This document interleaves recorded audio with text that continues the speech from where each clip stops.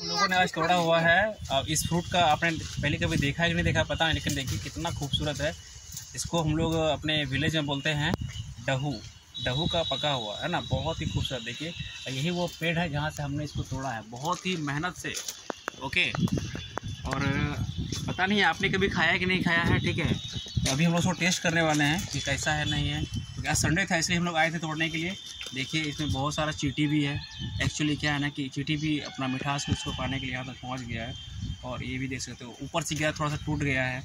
And then ये भी टूट गया है। ओके तो ये सब फ्रूट आपके एरिया में है कि नहीं है, ये बहुत ही खूबसूरत और बहुत ही स्वीट और बहुत डिलीशियस है। ओके पता नहीं, अगर है तो आप लोग कमेंट करके बताएँ और आप लोग इसको क्या बोलते हैं, ज़रूर मुझे बताइएगा। ठीक है, हम लोग इसको डहू बोलते हैं। ठीक है ना? बहुत साल बाद मैंने दोबारा इसको देखा है। ओके तो फिर चलिए कैसा आपको लगा क्या लगा, आप ज़रूर बताइए उसे टेस्ट करने के बाद काफ़ी डिलीशियस है ये ठीक है?